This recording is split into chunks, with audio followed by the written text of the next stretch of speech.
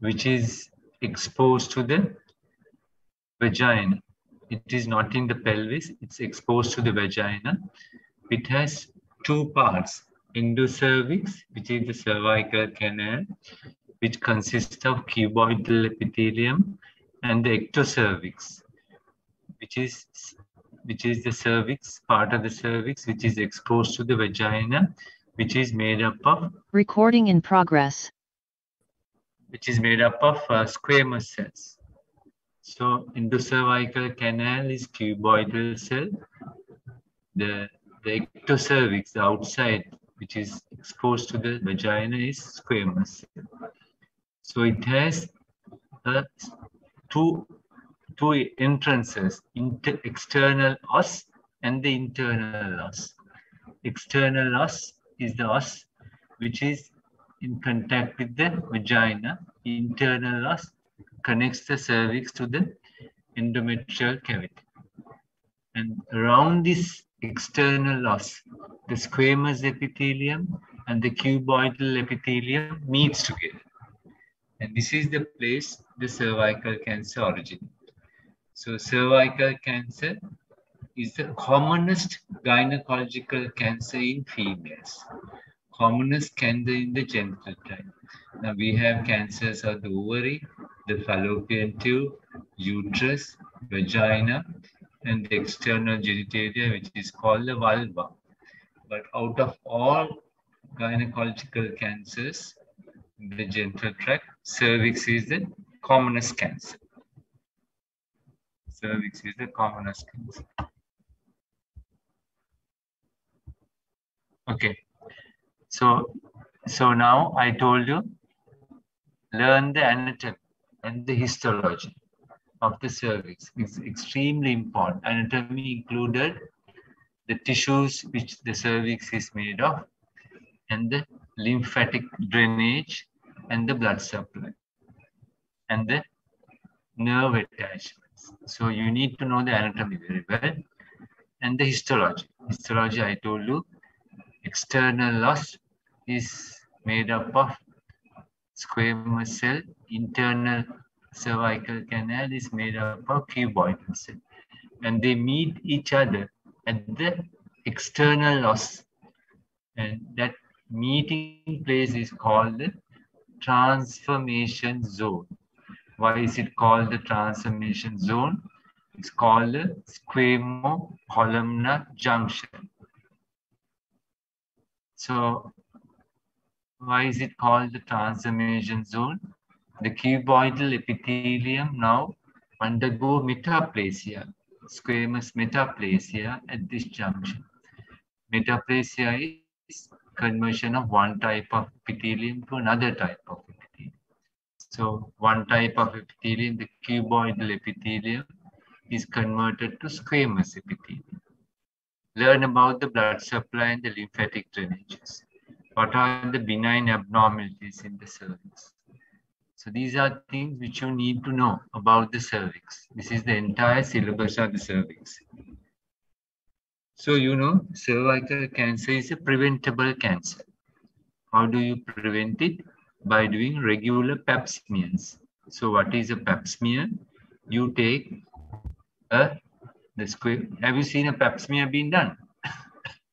Hello. Have you seen a pap? Yes. Yes, sir. So the pap smear is taken around the external os, where there are squamous, the transformation zone. And the normal epithelial cells look like this. But abnormal cells, you can see here, is large nucleus, and there are nucleoli here. And the nucleus cytoplasmic ratio is altered and you see hyperchromasia. The nucleus is darkly stained, hyperchromasia. So pap smear is, is, is done from the external os. And this is the slide of a pap smear. So pap smear, what do you see in the pap smear? A, a clump of cells. So pap smear is a cytological diagnosis pap smear is a cytological diagnosis. So now So now these are now, now cervical, before the cervical cancer originate, there is a precancerous phase which originates, precancerous phase. And we call it cervical intraepithelial neoplasia, CIN1. And it is graded CIN1, CIN2, CIN3 or mild dysplasia, moderate dysplasia, and severe dysplasia. So these cells in CIN1, that mild dysplasia, moderate, has these characteristics which I just told you. A large nucleus, mitotic figures are common, dark staining. The severity is graded from grade 1 to grade 3. And this is the grade 1, grade 2, grade 3. Now I'll show you why, how do you differentiate between grade 1, grade 2, and grade 3. Now this is a slide. This is the normal epithelium. The most important etiological factor of cervical cancer is the papillomavirus. So the papillomavirus enters the cervical cells. And this is CIN1. This is the basement membrane only one third of the epithelium above the basement membrane is involved. That is CIN1. Here, two thirds of the epithelium is involved. CIN2. This is the whole epithelium is involved. CIN3. And if the basement membrane is infiltrated or pierced, it is a cancer. Now, there are stromal tissues here with blood vessels and lymphatics. Now, cervical cancer is, sorry, this uh, cervical intraepithelial lesion, we call it CIN1, CIN2, CIN3. And then there's a new classification, which is called the Bethesda classification. So CIN1 is in, in Bethesda classification is called low seal lesion. Low seal means low squamous intraepithelial lesion. CIN2 and CIN3 both combined is called high seal lesion, high grade squamous intraepithelial lesion. And these are all due to, uh, so the etiology of cervical cancer, definitive etiology of cervical cancer is the presence of human papillomavirus human papillomavirus. Remember that. So it is only etiology. So in human papillomavirus is a sexually transmitted virus. So epidemiology, 90% of the abnormalities below 45 years. So natural history. HPV is a relatively small virus. It's a DNA virus. It has a shell, big shell here. And there's a viral particle is a capsid. It's a DNA virus, very small virus. And then the causal role of papillomavirus infection in cervical cancer has been documented beyond reasonable doubt. There's no doubt. 100% it's due to HPV. Right. So this is what is important. And then what are the other risk factors to develop HPV? if you have multiple sexual partners, then this, this as it is a sexually transmitted virus, it can infect.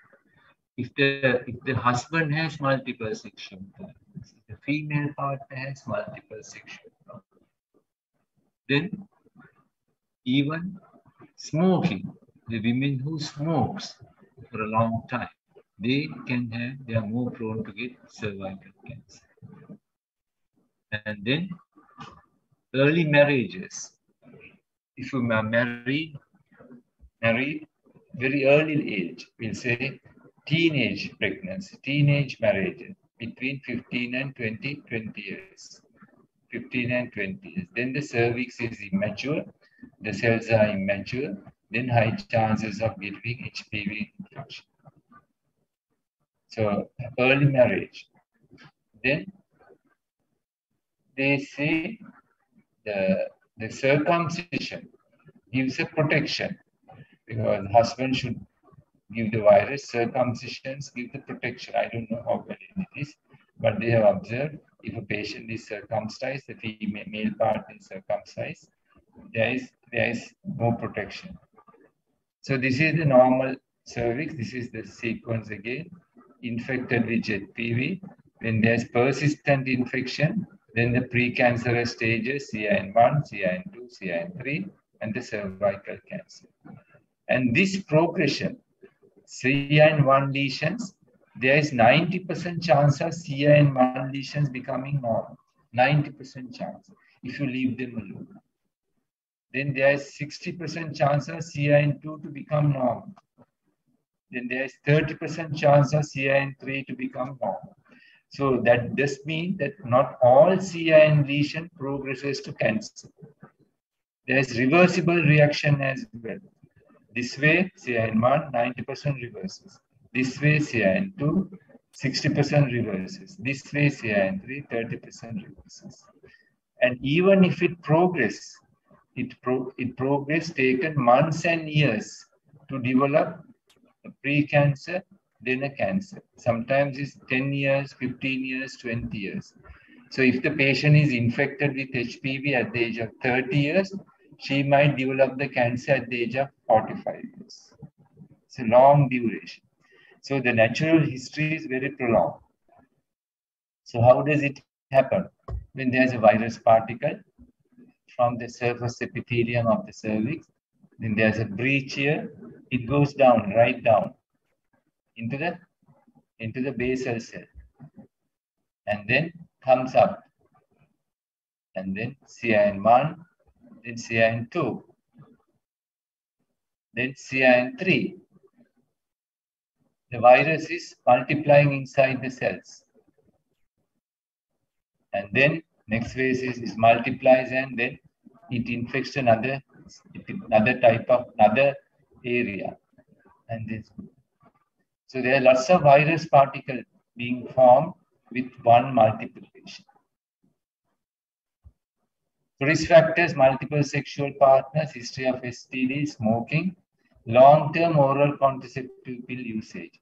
This is little controversial because, because if a patient is on contraceptive pill in Western countries, they are not worried about pregnancy. They obviously they have multiple sexual partners and the immunosuppression. If you have HIV and long-term steroid treatment, then there's high chance. And here, last one, lower socioeconomic status. So there is a there is nutritional deficiencies when the immunity goes down with the nutritional deficiencies, then she's getting she can get more viral infection. Diagnosis. Screening for cervical cancer cervical cancer is a preventable cancer. It's a preventable cancer. Right. Screening is performed with cervical smears. You can take cervical, have you seen cervical smears? You have seen. And they learn the eligibility criteria for screening. Anybody who is married should have a smear done once in three years until 65 years. So that is a criteria and learn the method of screening. You need to learn the methods of screening. How to screen, how to do a pap smear. So this is a this one you saw it earlier. Then this is what's happening. So this is isolated. This is a CIN3 lesion from this basal membrane and it's going up and up and up and up and up up to the surface epithelium. So you can see dark staining nucleus and then hyperchromasia. And the nucleus cytoplasmic ratio is altered. The entire nucleus is filled with the nucleus. The entire cell is filled with the nucleus. Management of abnormal smear. So I said, if the patient is, if the patient is, uh, every, it's done every three years, if the pap smear is normal, you say, if you do the pap smear today, if it is normal, it is repeated in three years' time. If it is mild CI, I told you mild, 90% reverses, and then you repeat this in six months' time. Most of the CIN will reverse back to normal. If it is still present, Then you do a call, procedure called the colposcope. I'll let you know what this colposcope is. Then borderline changes, repeat in six month time if still persists a colposcope. The moderate changes, mild moderate, two-thirds of the epithelium is involved, you need a colposcope. Severe changes, you need a colposcope. So there are colposcopic indication. Yeah. If it is normal, then you repeat in three years time. What is a colposcope? Colposcope is a standing microscope which can magnify the cervical structure standing microscope, like the mic that now you have in the pathology table microscope. This is standing microscope. So learn how to do a colposcope. You can learn when you're doing appointments, colposcope. Then when you do a colposcope, before you magnify the cervix, we put a solution of acetic acid acetic acid. Acetic acid is normal vinegar, vinagre, 3% vinegar. When you put acetic acid into the cervix, the abnormal area in the cervix absorb acetic acid. Absorb acetic acid and they look like white areas. And if you if there is white areas, when you do colposcope, you know those are abnormal areas. So these are called aceto-white areas. This is aceto-white area. This is aceto-white area. These are abnormal is which you observe. So when you see aceto-white area, how do you manage this patient? Management, you can then, these are not, these are pre-malignant still. So you excise this area. These are called excisional methods or you can destroy this. There are many methods to destroy, excision or destruction. Yeah? Excisional methods, and that is called large loop excision of transformation loop. That means with a wire loop, you excise with a connected machine, diathermy machine, you excise. Destructive method, there are three methods. Elect cold coagulation, you freeze the tissues to zero degrees and then destroy. Then coagulation, electrocoagulation, you heat up the tissues over 100 degrees and then destroy or by laser energy. So there are two methods to treatment of cervical intraepithelial neoplasia, excisional methods and destructive methods. So this is this is a type of a cancer high grade, high grade lesion. They have white areas, big white area. This is a cancer, invasive cancer. You can see there are necrotic areas. There's a large tumor here. This is a cervical cancer. So this is high grade CIN1. See, this is CIN3 high grade, and then leading to cancer. Yeah. So this is the excisional method which I told you. With a diathermy blue, you excise. And this area is being fully excised away. And then you can send it for biopsy. Excisional method, which is called the large loop excision of transformation zone. So prevention of cervical cancer. How do you prevent? By vaccine. So now there's cervical cancer vaccination. It's called the primary prevention. Primary prevention, why? It produces antibody in the patient and then prevent the virus entering the body. Now, cervical smear is a secondary prevention. The virus has entered and we are diagnosis the entered virus to the abnormalities, pap smear abnormalities. So it's a secondary prevention. So HPV vaccination is a primary prevention. Or health education, you educate the younger generation and the population and tell them about the it's a sexual transmitted virus and a cancer. Sexual transmitted cancer. So having what sex education, importance of having sex education, and then barrier contraception. Sex education and barrier contraception. How do you counsel a patient with abnormal smear? How do you counsel a patient with abnormal smear? Now, how many types of vaccinations are available? There are two types of vaccination. What are those two types? There are bivalent vaccine and quadrivalent vaccine. Bivalent and quadrivalent vaccine. Bivalent vaccine is has now HPV. I told you it's, it's due to HPV is a virus. Not there are about hundred subtypes of HPV. Hundred subtypes of HPV. Out of which few subtypes are cancerous. What are those subtypes? HPV 16 and 18 HPV 16 and 18 are their cancers. So now bivalent vaccine has antibodies, produce antibodies against HPV 16 and 18. Quadrivalent vaccine has produced antibodies against HPV 16, 18, 6 and 11. What is 6 and 11? Anybody? Anybody in the audience know what is 6 and 11? Uh, the viral uh, serotypes which produces genital warts. Genital warts. Very good. Very good. Brain. Genital warts. So genital, these are genital warts. Genital warts also are sexually transmitted.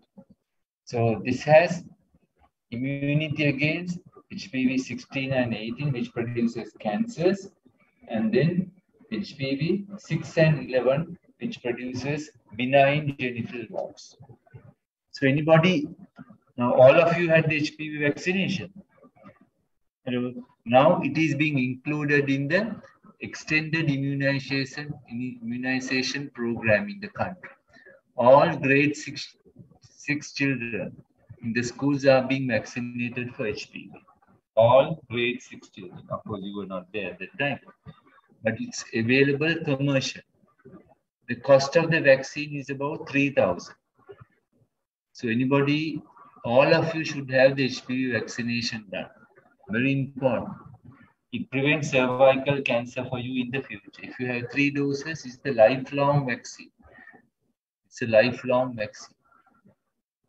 So all of you should have, all of you in the sense, especially the male, females, should have HPV vaccination.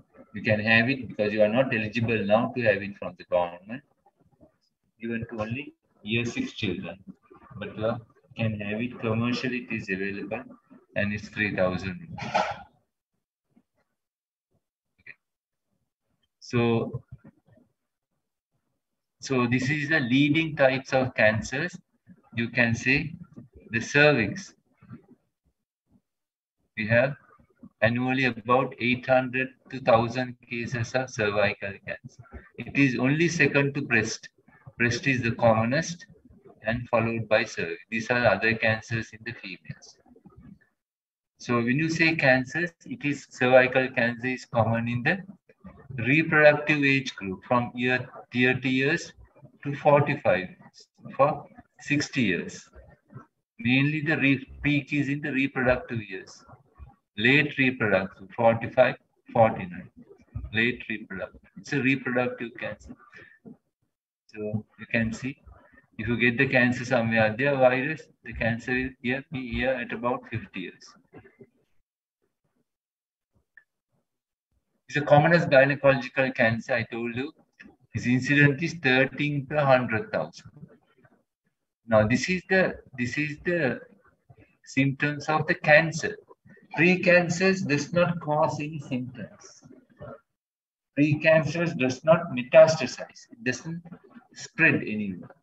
It is only located in the cervix. Now, this is the cancer. What are the irregular vaginal bleeding, offensive vaginal discharge, if you are menopause, post-menopausal bleeding. If the rectum is involved, rectal bleeding. If the bladder is involved, hematuria and the pain. And on examination, there may be ulcer or growth in the cervix. How do you examine the cervix? By speculum examination. So the spread, learn the spread and the FIGO staging of cervical cancer. Remember that. FIGO staging, I told you earlier, FIGO is International Method of Staging of Cancer, Federation of International Gynecological Gynecologic Obstetrics. So there is a staging. Stage one, stage two, stage three. All of you should know staging of cervical cancer. So when you see a cancer, then you need to biopsy. So biopsy is done after admitting the patient, biopsy is done. Then cervical cancer is staged by clinical examination. And therefore the staging is called the clinical stage. Where do you examine? When you do an examination under anesthesia in the theater. So examine in the theater under anesthesia and then you say this is the stage of the disease. So it's called the clinical stage. So there are other investigations which are helpful like the MRI CT scan to stage the disease, but it's mainly a cancer which is being examined and then staged. So examination under anesthesia when you are doing a biopsy in the theater. Treatment. So treatment, cervical cancer. I told you about this.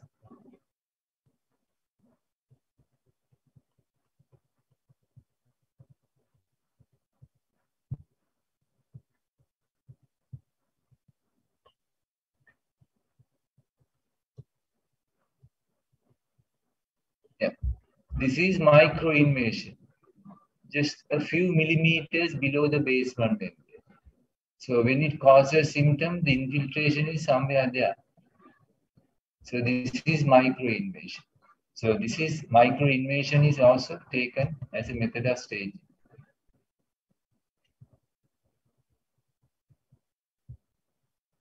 Microinvasion.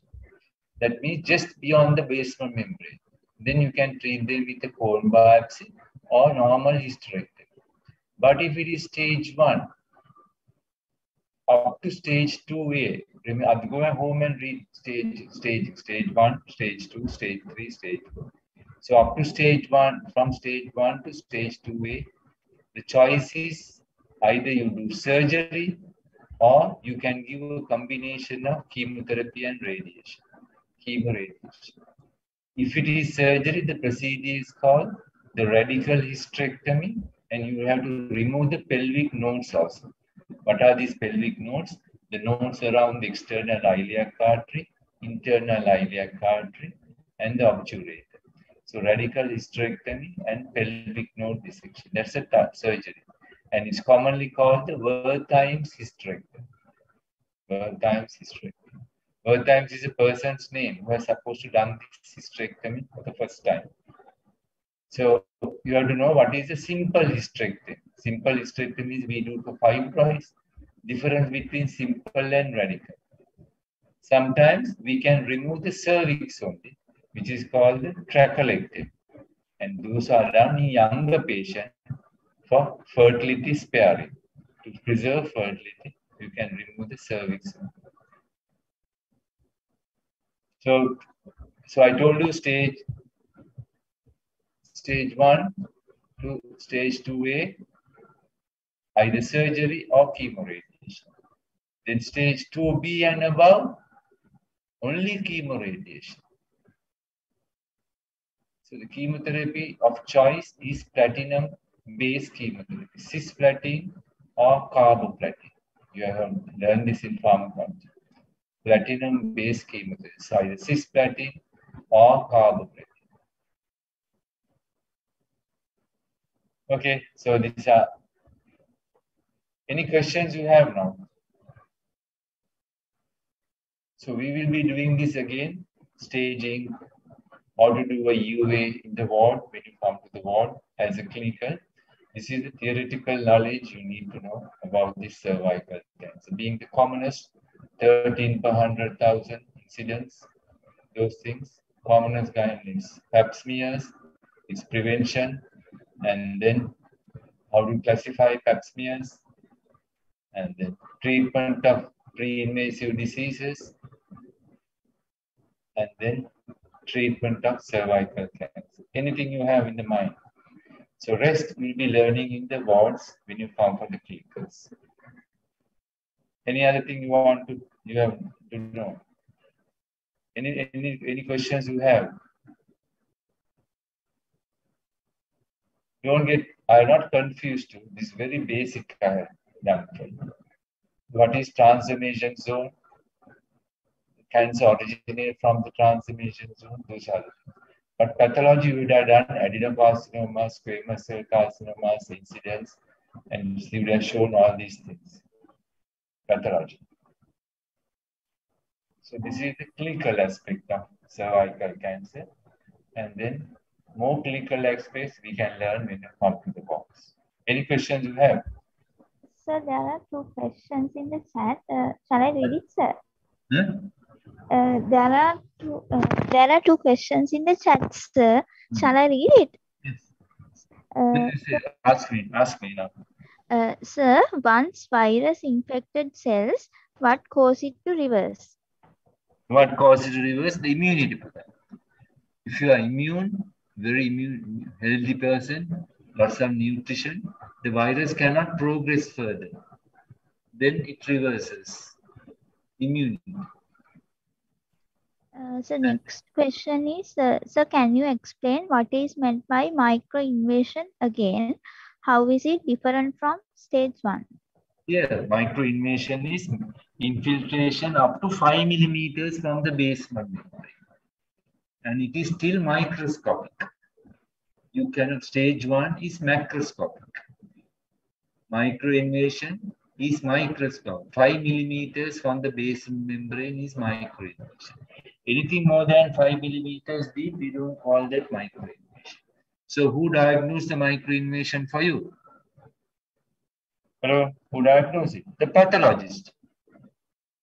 Pathologist diagnosed it because it's, it's microscopic. Any other question? Uh, yes, sir. Uh, next question is, uh, sir, which type HPV vaccine, bivalent or quadrivalent used in national schedule? Quadrivalent. Uh, so what is done in radical uh, trachelectomy? Uh, trachelectomy, you do, you remove the cervix. Radical trachelectomy, remove the cervix and the pelvic lymph nodes. Cervix and the pelvic, we do have trachelectomies because we preserve the uterus for her to have babies fertility, that is called the fertility sparing. If you do a radical hysterectomy, you are removing the uterus.